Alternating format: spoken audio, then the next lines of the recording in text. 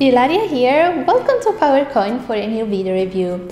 This week we launched a new coin, Moses. This is the first release in the new Eternal Sculptures 2 series. Um, since we launched the coin on Monday, many of you have asked why we started a new Eternal Sculpture series and what differentiates Eternal Sculptures 2 from Eternal Sculptures 1.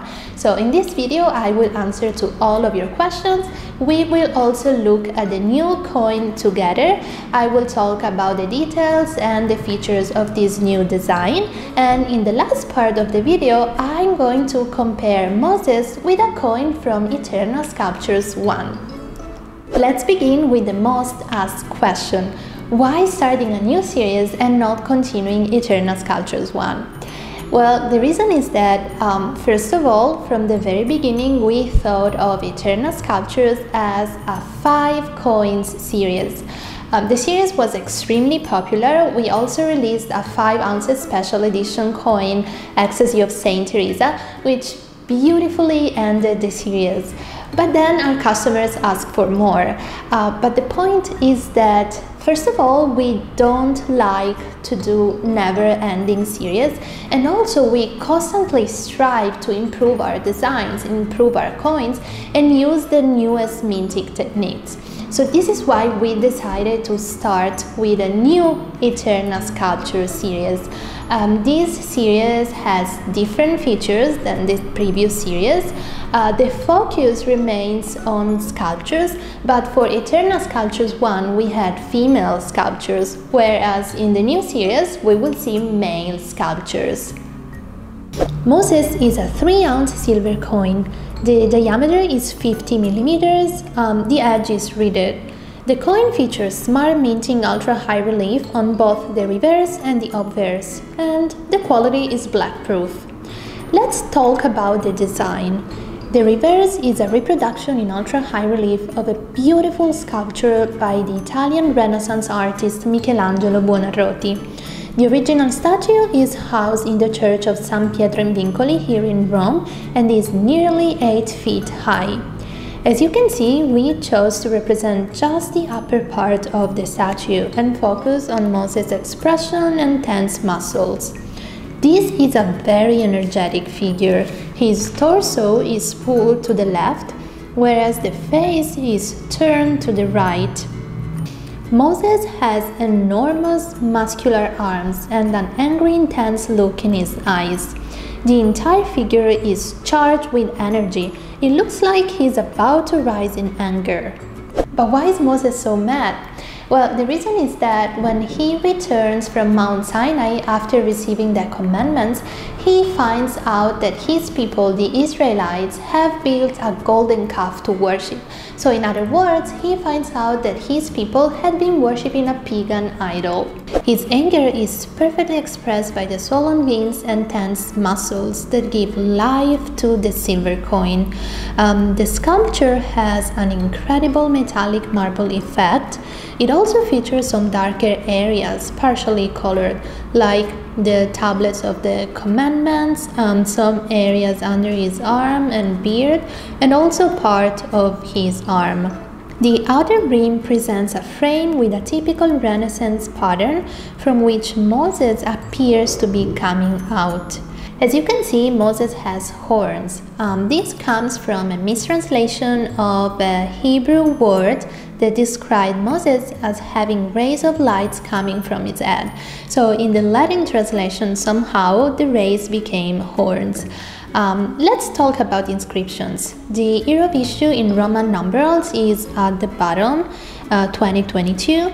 On the right, we have the name of the series, Eternal Sculptures 2, with the new logo and miniature of David by Michelangelo, and below the name of the coin, Moses. Look how detailed are his hair and beard and also a detail that we love is his hand holding the beard and we chose to focus on this detail on the obverse of the coin. Look at all the muscles and veins in Moses' hand and the waves of the beard. When the coin is tilted, you can also see how high is the relief. As for the reverse, the statue on the obverse has a metallic marble effect with darker areas partially colored. Um, the background is black proof. The coin is Palau's legal tender, the coat of arms is on the left, and below there is the inscription with the face value $20.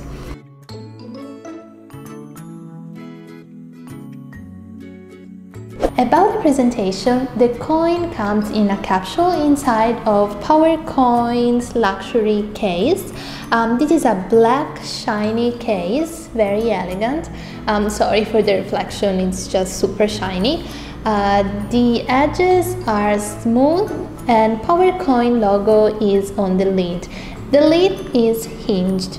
Um, the coin will also be accompanied by the certificate of authenticity. I'm sorry I don't have it now because it's on production.